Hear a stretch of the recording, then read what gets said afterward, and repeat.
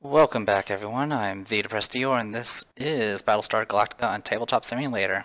As always, if I make any mistakes, uh, I apologize. There's I'm playing literally four characters at once and this game is a little bit complicated. Not as complicated as maybe some people may say, but there's still a lot to keep track of. Anyway, uh, with that being said, uh, I think my ships are not flipped over anymore, so that's a plus. Uh, it is now Boomer's turn. I need to draw cards for her. Two piloting. Wait, what did I just do? These are not the right ones. there we go. That's what it should have been.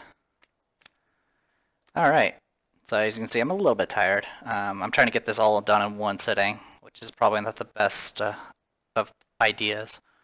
Alright, so let's go ahead and uh, do what we can here. Uh, two people are in the brig right now. One of them is a suspected Cylon, though it's probably pretty obvious at this point. Um, we have our FTLs damaged, uh, but that's not the end of the world. Executive order should have been discarded a while ago. Um, and yeah, we got we got stuff to do. Actually, okay, yeah, I'm just making sure I'm not missing anything. We did use one of our nukes, so that's fine. Uh, we're not going to move anywhere. We're kind of okay where we're at. Um, all right, so if, I'm gonna I'm gonna stay where I'm at. I don't think there's any cards I want to use right now. There are, I mean, I have maximum firepower. That's a good one. Okay, so first things first, uh, we'll do our CAG action. Uh, we're going to activate this Viper here and use it to attack that Heavy Raider. Don't think anyone has anything to help with that, that they that would actually help with it. So uh, 7 and 8 would destroy a Heavy Raider. Uh, for those who are wondering where I'm getting these numbers from, it's um, in the rulebooks essentially. Uh, uh, each of the rulebooks will, if they change anything, they'll include a new chart. And essentially, I believe Daybreak has the entire summary of everything as far as combat's concerned. Seven. So that heavy raider's gone. So that's good. Last thing we need is to get... It's bad enough to have a Centur uh, heavy raider board as a Centurion. It's even worse when two do it. so, alright. And then I get another action because of CAG. Um, I'm going to go ahead and do maximum firepower.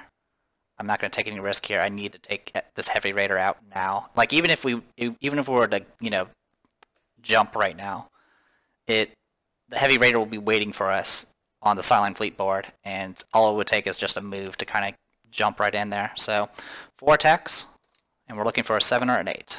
Miss, miss, miss, hit. Alright, that was a good investment then. Alright, um, so those are been, been used. Um, not much else to play around with here. Okay, so at this point, uh, we're going to go ahead and do a... Let me check something here. Okay, yeah, it's all fine. All right, crisis.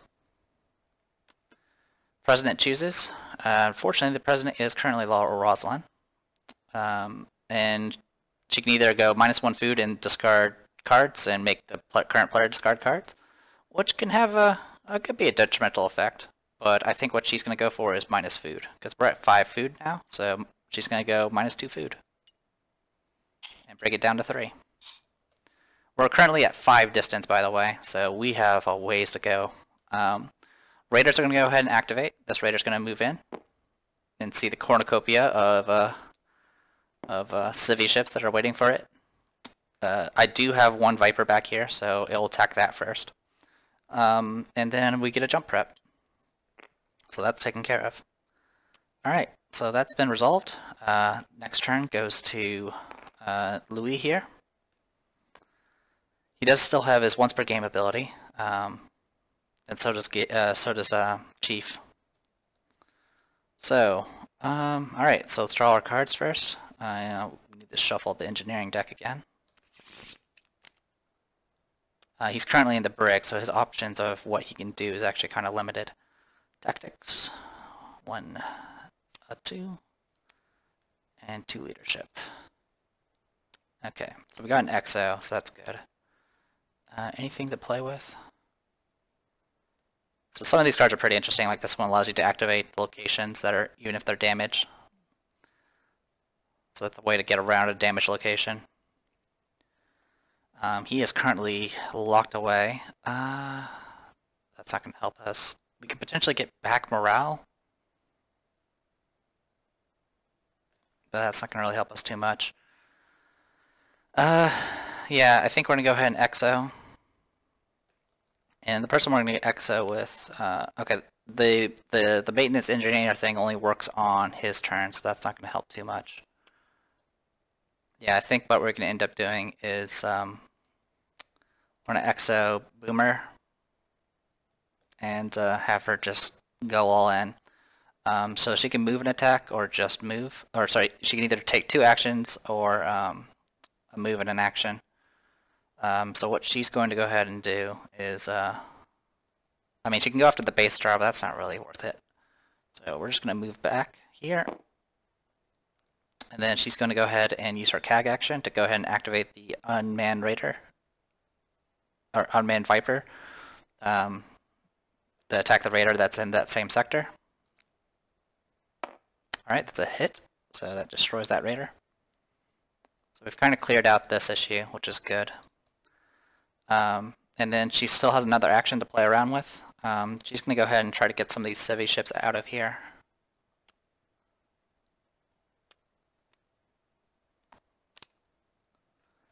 Alright.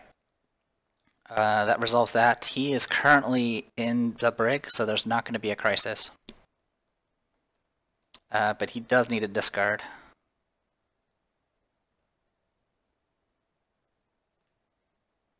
I'll discard all hands on deck. Okay. Uh, turn goes to Laura Roslin. Uh, she can draw some cards.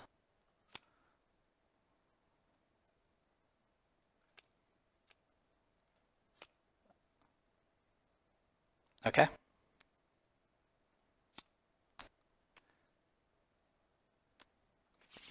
So that's what she was waiting for. Is this uh, six is the highest strength card uh, of any color, and it uh, generally has the most strongest. It has the strongest uh, special ability usually. So this is politics. Uh, what you can do with this thing is a number of things. Um, you can essentially any skill check that's uh, that's triggered on a location. Um, you can play you can play that card to automatically pass or fail it. So that includes getting out of the brig, throwing someone in the brig, or executing them. Right now, she wants to get out of the brig. Because if she does that, she can start influencing uh, influence things a lot more. So she's going to go ahead and do political prowess and get herself out, out of here. Uh, she can go to any location she wants. Uh, I mean, she could try doing an airlock. That'd be pretty hard to pull off.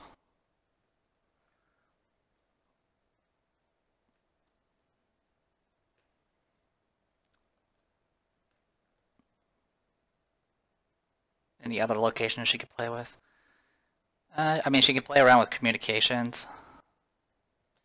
But for the most part, throwing people on the brig might be easier, but it's actually not a skill she's good at. So you know what? Yeah, she'll go ahead and move to the airlock. She will have to discard a card, but that's not really an issue for her. Um,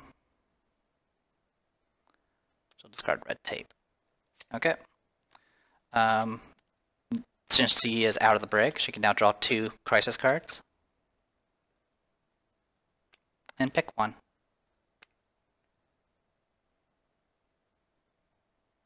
She'll pick food shortage. So yeah, they should have really executed her when they had the chance. Food shortage. She picks, she's currently still the president, so she'll pick minus two food, bringing it down to one. And raiders will activate. Move this one down. And a jump will happen.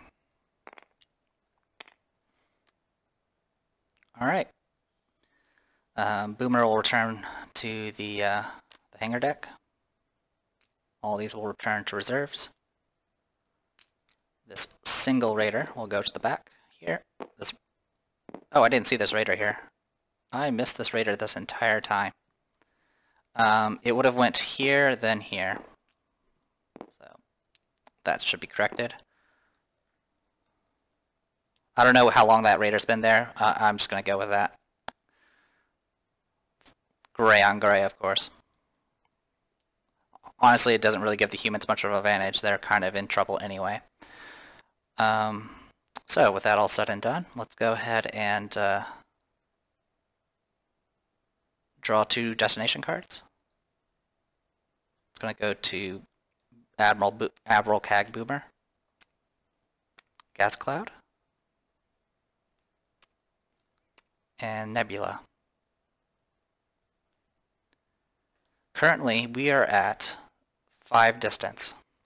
This is 3 distance, and after reset the jump track, uh, preparation track, you advance the jump preparation track by 2. This other one is it's just one distance, but you get to kind of manip manipulate the crisis deck. She's going to go ahead and uh,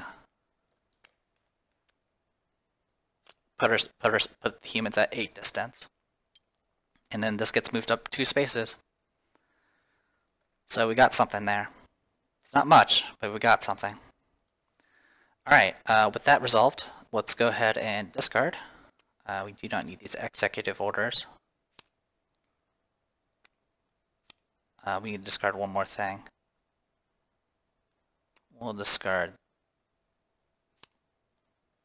We'll discard that. Alright, 10 cards. Uh, it goes to uh, Chief. So at this point, it's uh, it's kind of hard of the cards at this point. It's going to get pretty ugly.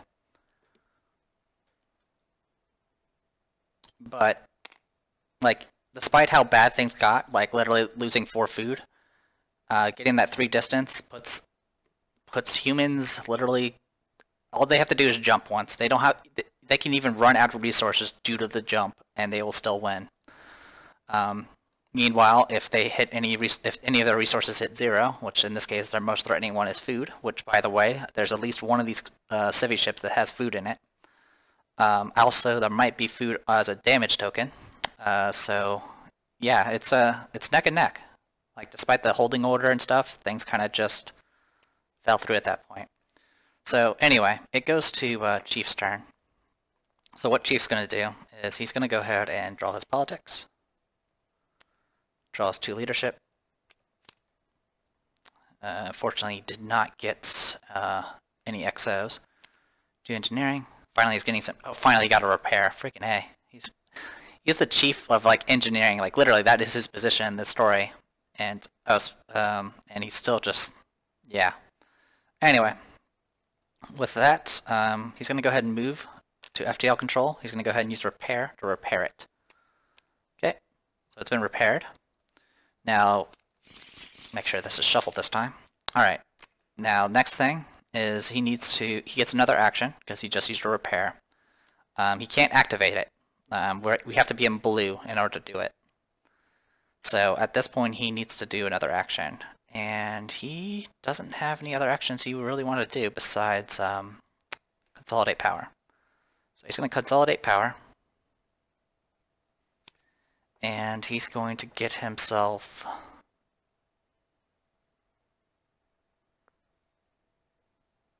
What could help?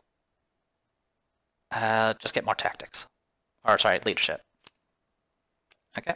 So yeah, Consolidate Power just allows him to draw two cards of any type. It can be outside his skill set. Alright. And it comes down to this. Um, if this is something that reduces food, it's going to be game over. President chooses.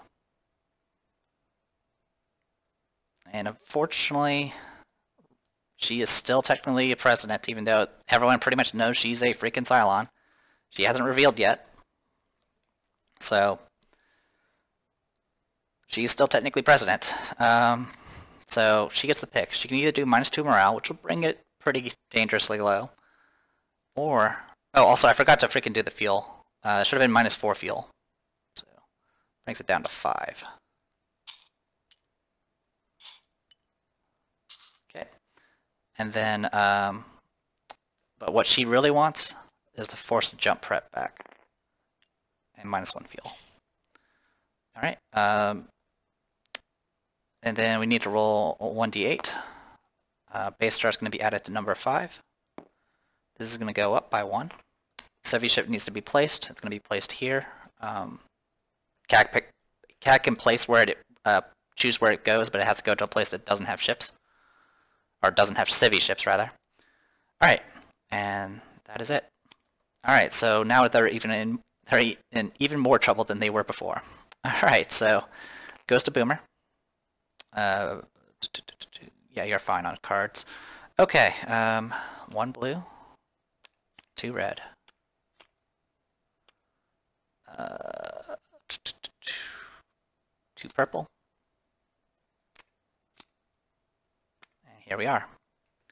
So we got a few options. Uh, we do have an executive order. And we can ask Louis if he has anything he wants to do.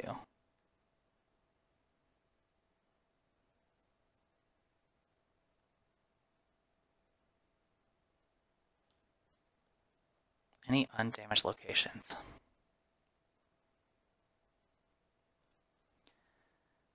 Yeah. Um, Alright, so what she's going to go ahead and do, she's going to go ahead and do critical situation. So she has two actions now, instead of just a move and an action. So that's going to activate. She's going to go ahead and deploy in a Viper, like so.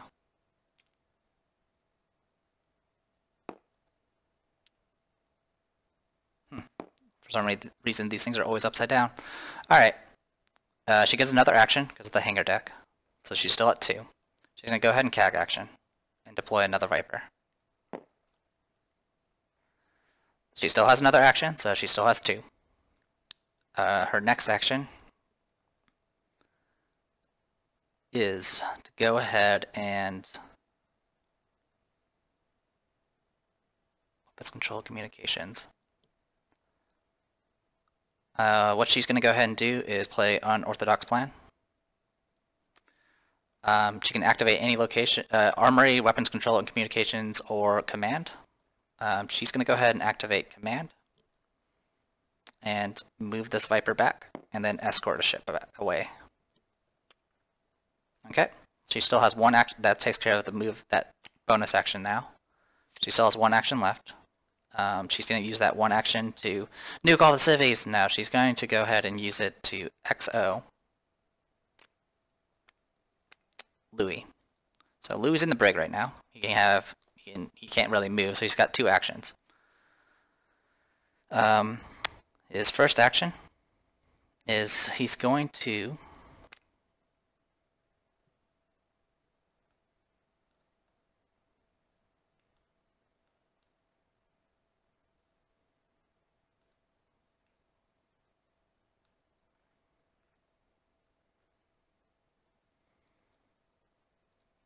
trying to think here.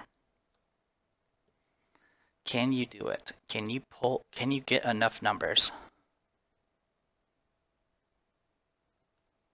Because it's 12. And she's not in the brig, so it's, so, if it was in, if you, if you try to airlock someone that's in the brig, it, the difficulty is only 8. Also, this is one of the few skill checks where um, treachery is actually positive. So, something to note. Okay, so what he's going to do is he, he's going to do his once per game. He's going to use it. He can activate any three undamaged locations regardless of where, where you are. So even while on the brig, he can activate some things. So first thing he's going to activate is the airlock. Um, now, the way Reckless works is it's in it's going to be based off the order um, the order similar similar to like a crisis. So you start by the next person over. So Roslin is going to go ahead and prevent someone from using a reckless card and play her reckless card first. So what this is going to do is each human player with four or less skill cards may draw two skill cards. No one has that. So all this is going to do is it's just going to tr trigger the Reckless. This is a zero cost, so it's going to activate along with this card. So Civvy Ship gets put in the back, and uh, two Treachery cards are added to the Destiny deck.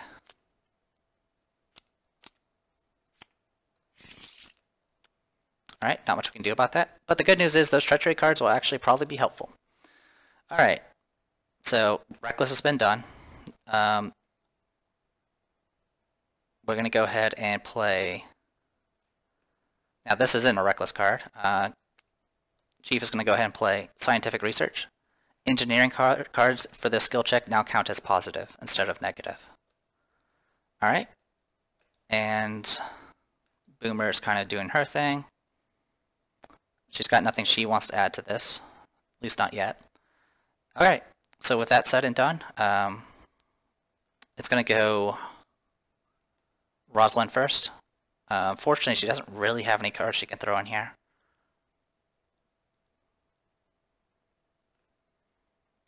Yeah, anything she puts in there would actually help get her killed.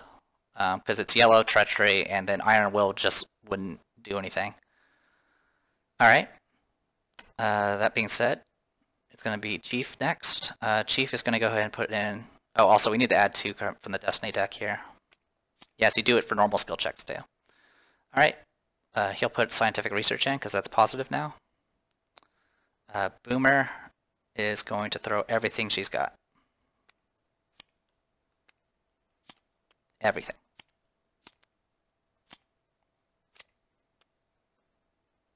And then um, Louis can only put one card in because he's in the brig.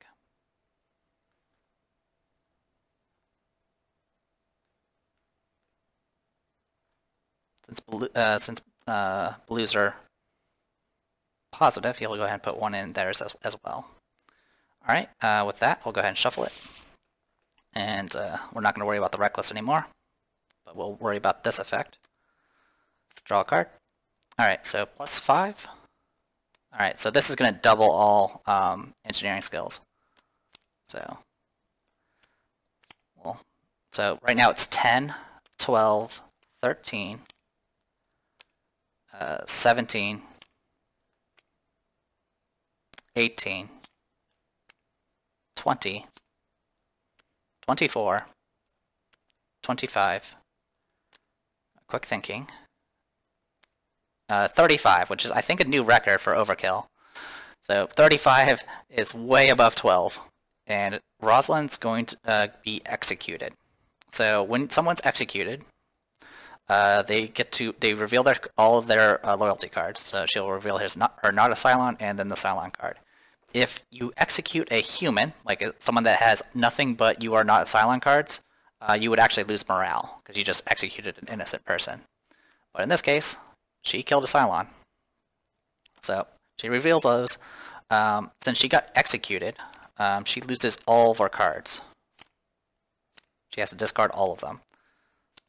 Usually you would discard down to three, but in this case she got executed. Uh, the other thing, uh, usually if you reveal yourself as a Cylon, you would get a Super Crisis, um, which are like really like evil uh, crises that, that the, uh, the Cylon player can play. Uh, but since she got executed, she doesn't get one. Uh, the presidency, by the way, uh, goes to uh, whoever's next in line, which I think is Chief. I'm pretty sure it's Chief. Fairly certain it's Chief, but I'll check. Yeah, it's Chief. So this will go to Chief. So he's president again. Um, and then with all that said and done, um, she goes to the resurrection ship. And at this point, she plays by slightly different rules. Not that that matters too much. All right, but the good news is that's been taken care of. Uh, we're still not done with uh, Louis' um, uh, once per game, though. He can activate two more locations. Oh, actually, we're still not done with a lot of things. Um, the quick thinking uh, triggered, and he can actually return a card to his hand. Um, he'll take the guts and initiative. All right. And then the rest of this gets discarded. Yeah, so this was mega overkill, but it was it was a surefire way to ensure that Roslin could no longer make calls. I mean, honestly, it wasn't even the quorum cards that was the problem. It's the fact she was able to make decide the fates of certain crises, like, you know, food. And, alright, so, uh, uh, that needs to go, to go away. Okay, so yeah, um, thank you, Scientific Research. Uh, they burned a lot of cards, um, and now uh, they have two more activations. Um, and it has to be different locations, so he can't he can't just execute everybody. Um, so his other two locations he wants to do,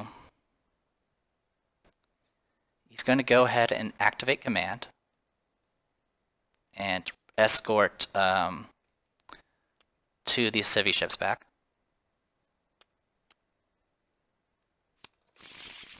Finally have at least a deck of, of them.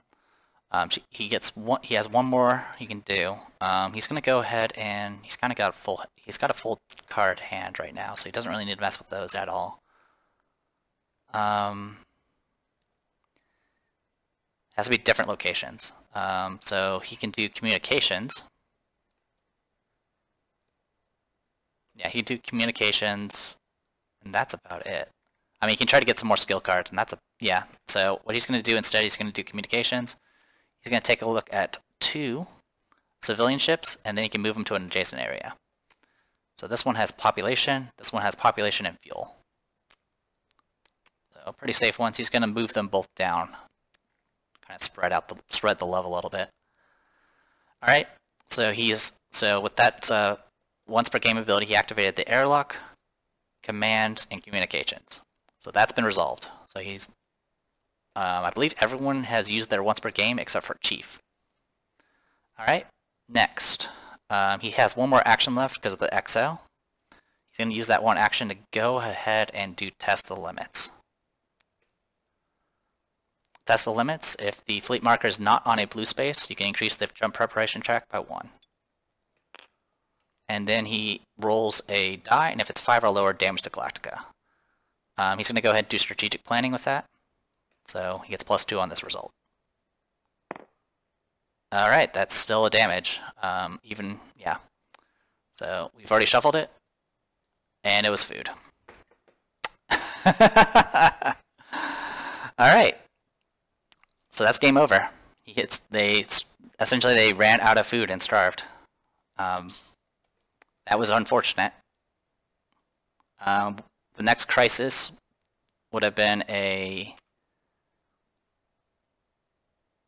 highest line of succession. Would have given a jump prep. Uh, he's still in jail. It would have hit her turn next. She could have looked at the next two. And then the next one would have been. Yeah, um, because then I would have been gone to that. Yeah. So if he hadn't have done it, um, he would they would have gotten enough jump prep to get to uh, to get to uh, uh, to the point where they can do an FTL jump. So unfortunately, trying to push the limit uh, ended up killing them. But yeah, that's how close the game got. Um, literally, they were a jump away from victory, um, and it got snatched away. Um, all because uh, out of all the eight locations I could have drawn, I drew the food, which was uh, pretty unlucky. What was even more unlucky is the fact I rolled, uh, all I needed to roll was a 3, no sorry, 5 or lower, so I would have to roll, I had to roll 4 or higher.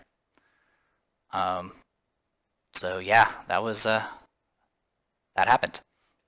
So, um, yeah, uh, so once the game is over, everyone reveals their cards. Everyone else is not a Cylon, so it's not a big deal. But uh, yeah, it was a pretty close call. Like I said, they all they had to do was last a few more rounds, and they could have maybe pulled through. Um, well, um, I didn't get to really show off what Cylons can do during their turn. Um, the way Cylons work on their turns is they draw two cards on their turn, and they can be of any type, including Treachery. Doesn't have to match their card anymore. In fact, they don't really use, they don't even use their character abilities anymore. Um, all they can do is they can move to the Cylon locations, which are right here. And there's also a location here, the Base Star Bridge, which uh, you can activate any two of the following abilities. There's four abilities here, so you can activate two of them. Um, and what the Cylon can do is a number of things. They can manipulate destinations, crisis. Um, they can activate uh, raiders and heavy raiders, um, or or deploy them. Um, they can they can essentially pick. They can draw two crisis cards and pick one and force them to resolve it. Uh, but those don't activate Cylon ships. Um, they can also play a Super Crisis if they have one. Um, they start out in the Resurrection ship, which is a hazard area, so you, um, if you want to, you can hang around here and draw us a Super Crisis, but while you're in here, you can only draw one card instead of two. Um, the stuff you can do at the Base Star Bridge ra range from forcing them to place civvy ships, um, place some uh, base stars or raiders in any one area of the game board. Um, you can uh, roll dice that automatically do damage to the Galactica based off the number of raiders. Um, you can also increase, decrease the jump track or increase your pursuit track. Um, so yeah, the, the Cylon gets some other toys to play with. Um, but what really worked for them was the fact that, you know, Roslin was president. And even though they knew she was a Cylon, um, they didn't really, they didn't, they didn't really stop her in time.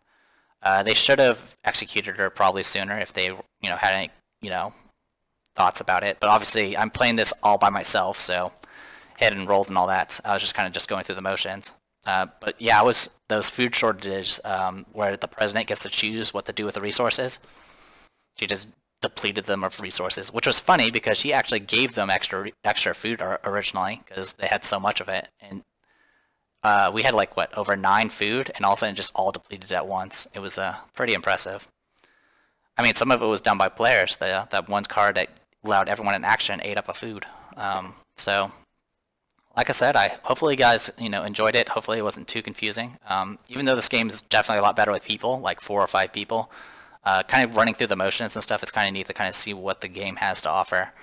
Um, I got to use once per game abilities on everybody except for Chief. Chief's once per game get ability is very very. It's depending on uh, skill checks. Um, and what you can do is you can essentially negate an entire color. So you can either negate a color that's been providing positive help or negative help. Um, yeah, I, this I, overall compared to my previous attempts to uh, previous recordings of this, I think this uh, worked out a lot better. I got to show off a lot of the mutineer card, mutiny cards, a lot of the, some of the uh, quorum cards. Uh, I didn't get to mess around with Colonial One too much, but that's because Ros Roslin's not really good for it. Uh, we did plenty of space combat. Um, we even did a little bit of Pegasus, not much. Uh, we kind of ignored it mostly. And yeah, um, generally things get a bit messy if you lose certain types of people. Um, if you lose people that can do repairs and stuff, um, you'll very quickly find yourself in a situation where just your ship just gets worn down through damage. Um, in this one, we literally everything was fully everything was pristine. We had no damage on the. I mean, we had damage on the Pegasus, but that's about it. We had all of our ships up and running. We lost one Raptor. We used we still had a nuke left, but it doesn't matter when you starve to death and that's kind of the neat thing about the game. Like, there's just so many things you have to keep track of as a human, and it, well, originally, like if we were like a few you know episodes back, I mean, I would not have expected us to lose because of food, and I was more concerned about morale, and you know, civvy ships and all that, and no matter what, it just you know all of a sudden just sneaks up on you. So. Uh, enough rambling on my part. Uh, I will be doing one more playthrough, and I'll be introducing the Cylon Leader uh, mechanics uh, in which case there'll be four players with one of them being a Cylon leader. Um, so hopefully you guys will get something out of that. If not, well, at least I got to play this game, even if it's by myself. So, I am the Depressed Eeyore, and this was Battlestar Galactica and Tabletop Simulator. See you guys later.